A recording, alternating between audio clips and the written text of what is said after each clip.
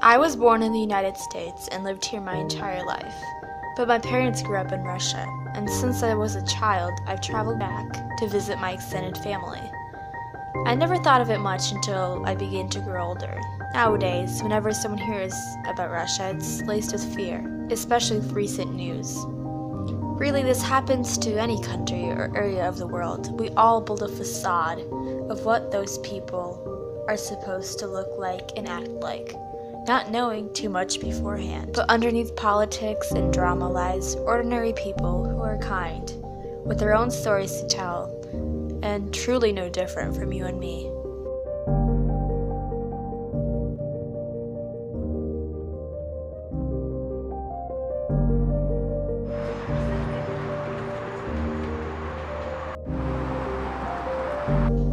Misunderstanding is a killer. Misunderstanding across cultures is what divides us as a global community. Misunderstanding leads way to conflict, and as I grow older and continue to travel back, I get a new perspective every time.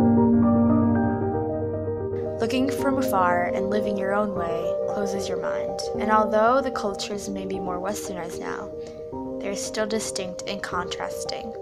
The buildings, surroundings, houses, and all are different from what I see most of my year. It is one of the things I'm most grateful for.